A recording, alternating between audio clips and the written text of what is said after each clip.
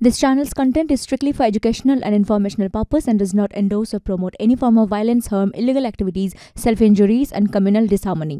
আমি মানসবাবুর কাছে আসি মানসবাবু এই পূর্ব মেদিনীপুরের ইতিহাস যদি আমরা দেখি যেখানে দাঁড়িয়ে বাম এবং কংগ্রেস কার্যত সাপে নেউলে ছিল সেই বামেদের সঙ্গে হাত মিলিয়ে আপনারা ভোটের ময়দানে নেমেছেন সত্যি কি কংগ্রেসের যে ভোট সেই ভোট বামেদের প্রার্থী পাবেন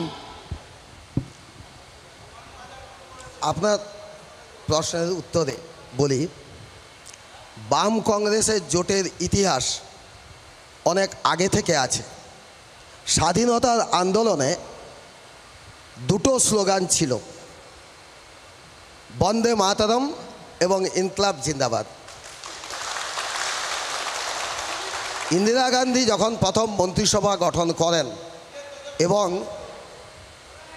রাষ্ট্রায়ত্ত সংস্থা ও ব্যাংক জাতীয়করণ করেছিলেন তখন বামেরা পাশে ছিল। প্রথম ইউপিএ সরকারে বামেরা পাশে ছিল। বাহাত্তরে সিদ্ধার্থ রায় মন্ত্রিসভায় সিপিআই সঙ্গে ছিল। ফলে এ প্রশ্ন এখন অবান্তর। আমরা দু পরবর্তী সময়ে দু হাজার সতেরো দু হাজার সাতের চোদ্দোই মার্চ পূর্ব মেদিনীপুরের মানুষ সেটাকে ভুলে গেছেন? নন্দীগ্রামের যে ঘটনা ঘটেছিল সেদিন কার চক্রান্তে হয়েছিল মানুষ বুঝতে পারেনি। শুভেন্দু অধিকারী আর মমতা ব্যানার্জি তার জন্য লড়াইটা করুন। যদি সিপিএম পুরোপুরি দায়ী থাকতো তাহলে সেই পুলিশ অফিসার যারা গুলি চালিয়েছিলেন তাদের বিরুদ্ধে সরকার কোনো ব্যবস্থা নেয়নি। কেন? কেন? মন্ত্রী করেছিল খুব গুরুত্বপূর্ণ প্রশ্ন।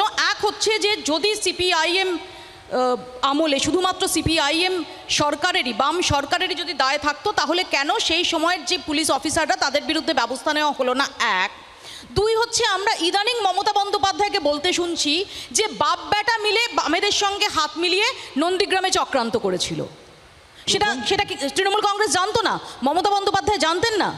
আচ্ছা প্রথম কথাটা আগে বলি। পুলিশ অফিসাররা বাম আমলে পরিচালিত হতো লাল দুর্গ থেকে। এটা মমতা? বন্দ্যোপাধ্যায়ের মমতা বন্দ্যোপাধ্যায়ের এটা অজানা নয়। এখন পুলিশ তারা স্বাধীনভাবে কাজ করতে পারে কাজ করতে পারে বলেই কাজ করতে পারে বলেই সবাই হাসবে এই কথা শুনে। আচ্ছা আর তার আগে তার আগে আরেকটা কথা বলি। স্লোগান নয়। দাদা এই যে সেকেন্ড রোতে বসে আছেন এই যে হু হা এখানে হবে না। আপনাকে প্রথমবার সতর্ক করেছি। দ্বিতীয়বার করলাম, তৃতীয়বার আর করব না।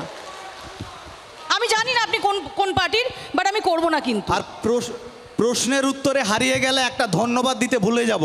তাই প্রথমে একটা ধন্যবাদ দিয়ে দিই আমাদের কংগ্রেসের সম্মানীয় যিনি এসছেন, উনি বক্তব্যের প্রথমেই বললেন কংগ্রেসের সঙ্গে সিপিএমের একটা পুরনো সম্পর্ক ছিল। আমি অত্যন্ত কৃতজ্ঞ এবং গর্বিত।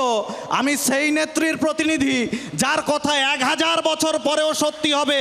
তিনি তো মমতা বন্দ্যোপাধ্যায় যিনি প্রথম বলেছিলেন রাজ্যে কুস্তি আর কেন্দ্রে দোস্তি। কংগ্রেসকে সিপিআইএম এর বি টিম বলে যিনি সেটা দল গঠন করেছিলেন। আজকের সেটা আজকের জোট প্রমাণ করল এই মঞ্চ প্রমাণ করল এবং কংগ্রেসের সম্মানীয় যিনি প্রতিনিধি তিনি স্বীকার করলেন।